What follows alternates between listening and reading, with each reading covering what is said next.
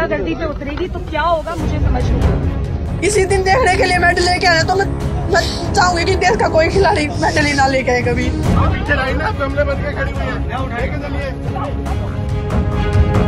है। इन सारा झगड़ा सारा झगड़ा इनका खड़ा हुआ है। जंतर मंतर पर आधी रात को बवाल।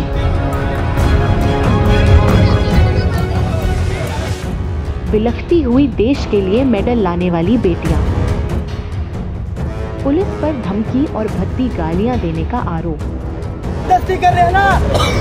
को गाली दे रहे हैं और जंतर मंतर पर यौन शोषण के खिलाफ जारी पहलवानों के धरने में देर रात जमकर बवाल हुआ।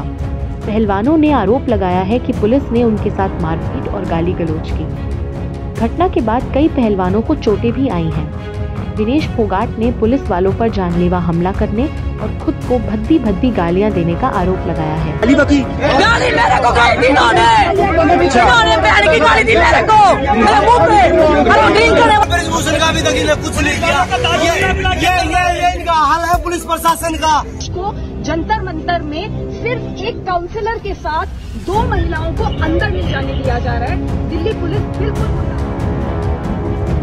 ये सब उन पहलवानों के साथ हो रहा है जिन्होंने कुश्ती में मेडल लाकर देश को गौरवान्वित किया है। हैरानी की बात यह है कि हर मामले पर ट्वीट और बयान देने वाले प्रधानमंत्री मोदी इस अति गंभीर मामले पर अभी तक खामोश हैं।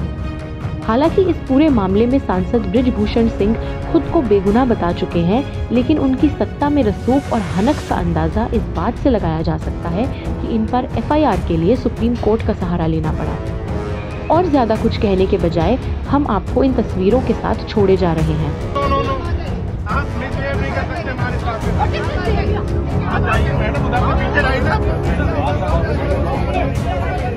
ज़िंदगी हमारी दाव पे लगा दी? सड़क पे हम बैठे हैं फिर भी हमारे साथ अत्याचार कर रहा है। खुद से सवाल कीजिए क्या राष्ट्रवाद महज ज़ोर से लगाया गया नारा और चीख कर दिए गए बयान को माना जाए या फिर देश के नागरिक और उन्हें गौरवान्वित करने वाले लोगों के हित को? फैसला खुद कीजिए। आप देख रहे थे पैगाम नेटवर्क